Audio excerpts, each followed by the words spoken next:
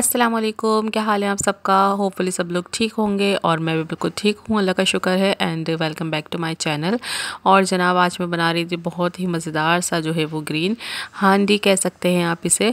और जी हरे मसाले का गोश्त भी बोल सकते हैं। बहुत ही मज़ेदार सा मैं बनाती हूँ किस तरीके से मैं बनाती हूँ आज रेसिपी की तरफ़ चलते हैं। मेरे हस्बैंड को बहुत ही पसंद है। ठीक है अच्छा मैंने बनाया था आ, मैंने लिया था आधा किलो गोश्त बीफ का और मैंने इसको जो है अच्छे तरीके से धो के पानी में एक उबाल कर फेंक दिया था। ठीक है, इसमें मैंने तकरीबन चार प्याज बारीक कट करके डाले थे, ठीक है। इसके बाद मैंने इसमें डाला था गरम मसाला, दो बड़ी इलायची तीन चार लौंगे सात आठ जो है वो काली मिर्चें और जी दारचीनी का एक डेढ़ इंच का टुकड़ा और ऑयल, ठीक है। ऑयल जो है, ये अभी फुलफिल था तो इसलिए मेरे से डिसबैलेंस हो गया था। खैर, यहाँ पर जो है मैंने इसका अच्छी तरीके से टेंडर करने के बाद ना इसका ऑयल सेपरेट हो गया। मैं इसको अच्छी तरीके से भुनाई कर रही हूँ। यहाँ तक कि प्याज का जो ना, वो अच्छी तरीके से पेस्ट बन जाए, ठीक है? अब मैं इसमें क्या क्या ऐड करूँगी, आप देखेंगे, बहुत ही सिंपल और बहुत ही डिलीशियस ये बनता है गोश्त ना। ज़रूर ट्राई कीजिएगा इन आपको पसंद आएगा। इन और इसके बाद जो है मैं गोश्त की अच्छी तरीके से भुनाई करने के बाद ना, अब मैं यहाँ पर ले रही हूँ तकरीबन दस से बारह हरी मिर्चें। आप कम भी ले सकते हैं अपने टेस्ट के मुताबिक, क्योंकि इसमें सिर्फ़ हरी मिर्चें ही जा रही हैं और लाल मिर्चें नहीं जा रही और ये मिर्चें बिल्कुल सही नहीं थी, ठीक है? आधा गड्डी जो है हरा धनिया की और चार पाँच पत्ते पुदीने के लेके मैंने उसको पेस्ट बना लिया था। यहाँ पर तकरीबन मैंने पाव दही लिया था, उसमें से आधा इसमें डाला था इनके आधा पाव दही इसमें गया था, ठीक है? इसके बाद में इसकी अच्छी तरीके से बुनाई कर दूँगी और ज़ाहिर फिर दही भी अपना पानी रिलीज़ करेगा। फिर इसमें स्पाइसेस डालेंगे, ठीक है? स्पाइसेस में बहुत सारे स्पाइसेस नहीं डाल रही हूँ, सिर्फ़ यहाँ पर डाल रही हूँ पिसा हुआ धनिया और ज़ीरा पाउडर और इसके अलावा जो है मैं इसमें डाल रही हूँ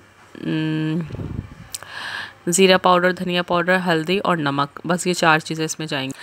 अभी नमक डाल रही, डाल दिए है, अब हल्दी डालूँगी, ठीक है? हल्दी, नमक ज़ीरा पाउडर, धनिया पाउडर, बस ये चार चीज़ें इसमें डालूँगी। इसके बाद जो है मैंने जो हरी मिर्ची और धनिया पुदीने का जो पेस्ट बनाया था ना, वो डालूँगी, बस।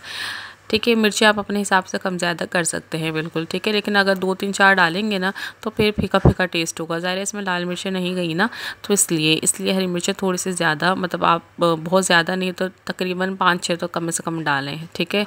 इसके बाद इसके अच्छी तरीके से भुनाई कर देंगे। अच्छा आप इस पॉइंट पर जो है ग्रीन कलर डालना चाहे ना फ़ूड कलर तो वो भी डाल सकते हैं, लेकिन मेरे हिसाब से बिल्कुल ग्रीन कलर परफेक्ट था। इसके बाद मैंने देखे यहाँ पर भुनाई कर ली है। अच्छा अब मैं इसमें दूध डाल के इसका जो है वो थिक थिन जितना मुझे चाहिए उतना मैं थिक थिन करूँगी। वरना अगर तो आप पानी डालेंगे ना तो उससे उसका जो है वो मज़ा फिर ख़राब हो जाएगा, ठीक है?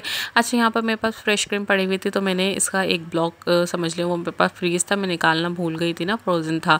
तो इसलिए फिर मैंने ऐसे ही डाल दिया था, मैंने कि खुद ही जो है वो नॉर्मल हो जाएगा। फिर अच्छा मैंने दूध भी साथ साथ डाला था कि इसका जो है टम्परेचर जो है वो नॉर्मल हो जाए, कहीं कि वो फट ना जाए। ना, क्रीम तो इसलिए मैंने दूध डालकर तो फिर मैंने जो है इसका, इसको जो है वो मिक्स मिक्स किया था। अच्छा अब जितना मुझे थिन करना था ना तो फिर मैंने वो दूध डालकर ही थिन किया था, उसका मसाले का जो है वो ग्रेवी, ठीक है?